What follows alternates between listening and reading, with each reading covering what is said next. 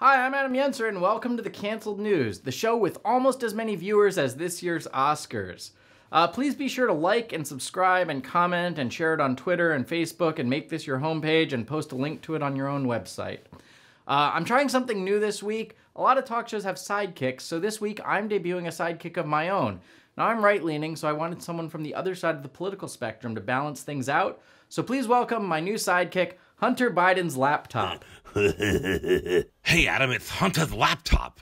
You wouldn't happen to have any extra crack rocks lying around, would you? No, I don't have any crack rocks. This is gonna go well. Uh, now, here's what's in the news. Joe Biden's address to Congress this week marked his first 100 days in office, so I thought we could take a moment to look at a list of all the great things he's accomplished in that time. First, he recognized the Armenian genocide. The Oscars aired on Sunday, and this year Hollywood tried to make the Academy Awards more woke, resulting in the lowest rated Oscars in history. In fact, the only thing that was watched by fewer people was Nomadland. In the final award of the night, Anthony Hopkins beat out the late Chadwick Boseman for Best Actor. Now, typically the only people who get away with beating a dead black man in LA are cops. Whoa. Sounds like a Democrat wrote that joke. Did you slip that one in there? Maybe. Stop snorting that. It's not cocaine, it's flour. Cocaine, flour, Parmesan cheese. Who cares? The socially distanced Oscars ceremony was held in downtown Los Angeles at Union Station, and if presenters went on too long, they were played off by a vagrant banging on a trash can.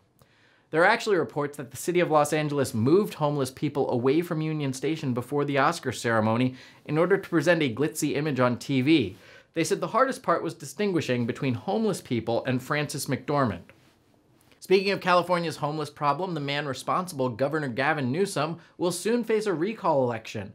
Similar to the 2003 recall, it's expected that many celebrities and oddball personalities will run as a publicity stunt. 2003 saw ridiculous campaigns from actors ranging from Gallagher to Gary Coleman to Arnold Schwarzenegger. One person who has already officially decided to run in the recall election is Caitlyn Jenner, and Caitlyn Jenner may not be a bad option. While Gavin Newsom let tent camps pop up all over the state, Caitlyn eliminated at least one tent. For the second year in a row, Burning Man has been canceled due to COVID, so if you want to go somewhere with weird hipsters on drugs, no laws, and giant bonfires everywhere, you'll have to settle for Portland. The Biden administration announced new COVID guidelines this week that allow vaccinated people to go maskless at small outdoor gatherings. An outdoor gathering is considered small if it's roughly the size of a Biden campaign rally. Due to a shortage of tanker truck drivers, many gas stations may run out of gas this summer, but due to fewer truck drivers coming through, they will have a surplus of Rhino 69 male enhancement pills. That's what Hunter would use to get strippers pregnant. I bet he did. In response to a viral social media post, hundreds of guys named Josh met at a Nebraska park and battled with pool noodles to find the best Josh. In a surprise twist, the winning Josh was Tyrone. As many workplaces reopen, clashes are erupting between people who want to return to the office and people who want to continue working from home. It's basically a debate between people who don't want to wear masks and people who don't want to wear pants. I have lots of videos of Hunter not wearing any pants. Justin Bieber has been accused of cultural appropriation for growing out dreadlocks like many black Jamaican men, and for growing a gross wispy mustache like many old Italian women. That's their culture, Justin, not yours. A controversial video became public which shows NRA Vice President Wayne LaPierre shooting an elephant in Botswana four times trying to kill it. Obviously, he should have shot it in the heart, not the Botswana. The fourth season of The Handmaid's Tale premiered this week on Hulu. For those of you who haven't seen The Handmaid's Tale, it's basically what The Hunger Games would be like if it was written by Planned Parenthood. If it weren't for Planned Parenthood, Hunter would have a whole lot more stripper babies. The New York Post corrected a false story that claimed copies of Kamala Harris's children's books were being given out to migrant children at the border. When asked about it, Kamala Harris responded, What migrant children at the border? And she laughed like a lunatic.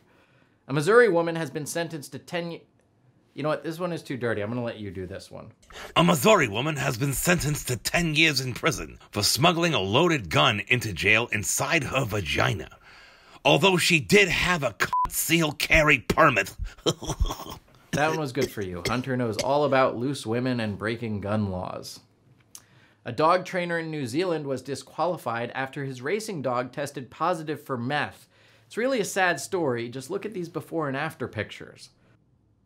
Meth, not even once. That after picture reminds me of Hunter. I bet it does. Hey, Adam, let me do a joke about Mike Lindell, the pillow guy. No, you do not get to make fun of our crackhead. We only get to make fun of your crackhead.